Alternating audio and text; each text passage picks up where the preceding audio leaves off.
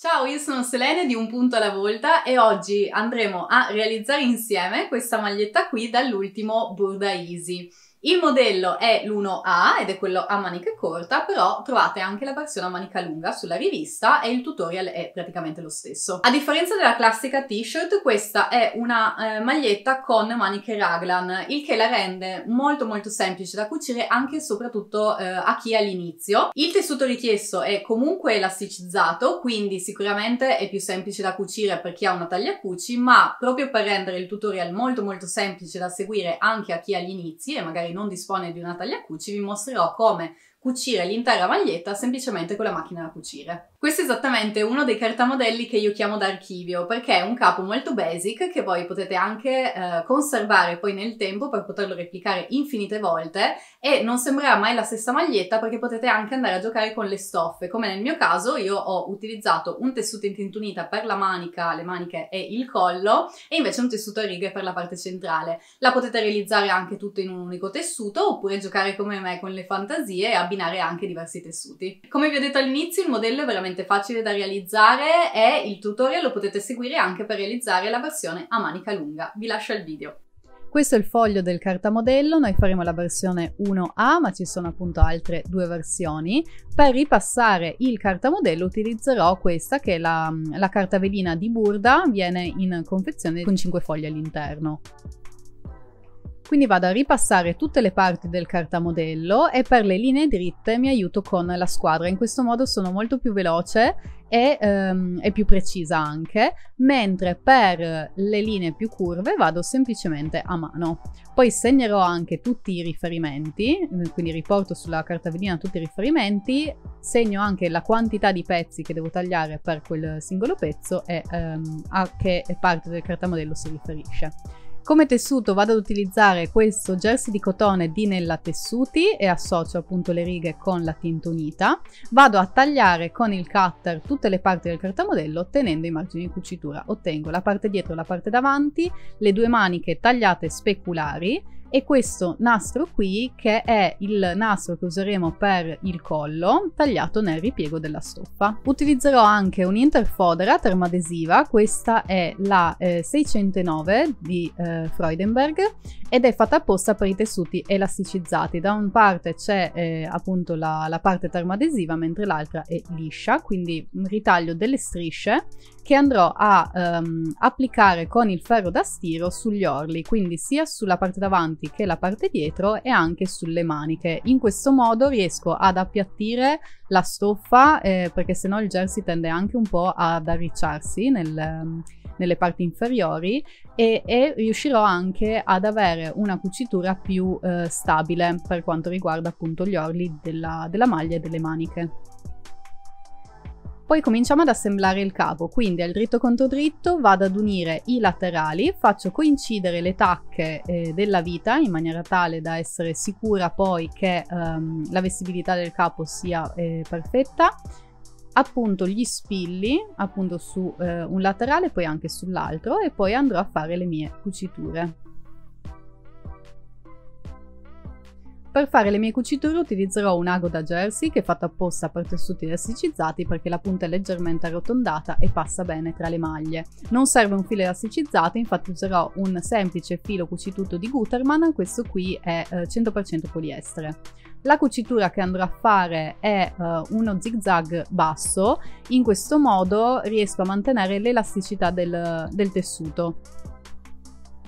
Questo è il risultato, come vedete se vado a tendere il tessuto si tende insieme anche il filo e quindi non si spezza. Per rifinire i bordi invece ho scelto un punto sopraggitto della mia macchina da cucire, in alternativa potete utilizzare anche un punto a zig zag. Poi vado a cucire le maniche, quindi al dritto contro dritto, faccio combaciare i laterali appunto gli spilli andrò a fare la stessa identica cosa che abbiamo fatto per la maglia, quindi farò prima una cucitura a zig zag bassa e poi rifinirò il bordo. Poi vado ad infilare, sempre il dritto contro dritto, le maniche all'interno della maglia. Faccio combaciare prima le due cuciture che abbiamo appena fatto, poi um, mi aiuto con le tacche di riferimento per continuare ad appuntare le maniche alla maglia, prima da un lato e poi anche dall'altro. Anche in questo caso andrò a fare prima una cucitura a zigzag bassa per unire i pezzi insieme e poi rifinirò contemporaneamente i due margini delle due stoffe con lo stesso punto che ho usato prima. Poi vado a chiudere il collo, lo posiziono in questo modo al dritto contro dritto, quindi lo piego a metà, le due estremità le fisso insieme con uno spillo e farò una cucitura sempre a zigzag basso per unirlo. Poi lo vado a piegare in questo modo, rovescio contro rovescio e appunto gli spilli tutti intorno.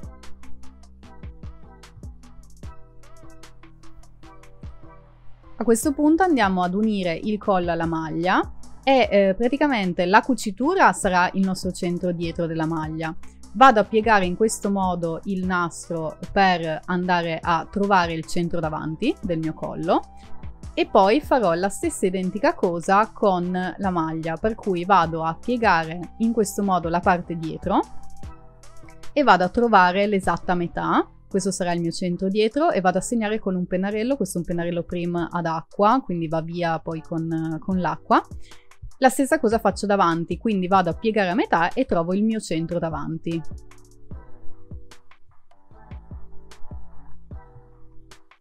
Poi riprendo il nastro e la cucitura che unisce il nastro sarà il mio centro dietro, quindi lo vado a posizionare e a far coincidere con il segno del centro dietro della maglia e appunto insieme il collo e poi mi sposto davanti e appunterò il centro davanti del collo eh, facendolo coincidere con il centro davanti della maglia. A questo punto il collo è leggermente più eh, stretto rispetto al giro dello scollo, quindi per andare ad appuntare gli spilli eh, tutto intorno al collo vado a tirare leggermente in modo da ehm, raggiungere diciamo, la dimensione del, del collo e, e quella della maglia. Appunto tutto intorno e farò la mia cucitura sempre un punto a zig zag a circa un centimetro dal bordo e poi il eh, punto quello per rifinire tutto intorno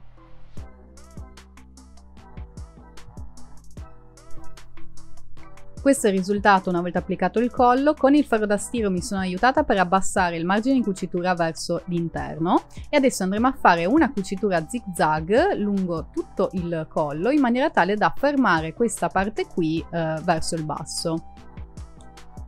Quindi la cucitura sarà subito sotto all'attaccatura del collo. Questo è il risultato finale, è una semplice cucitura zig zag. Per l'orlo invece vado a ripiegare verso l'interno la stoffa una sola volta e appunto gli spilli al dritto. Farò una cucitura al dritto, sempre a zig zag come quella che abbiamo appena fatto per il collo e la farò esattamente sulla piega del, um, dell'orlo, per cui dove si va ad incontrare il doppio strato di tessuto.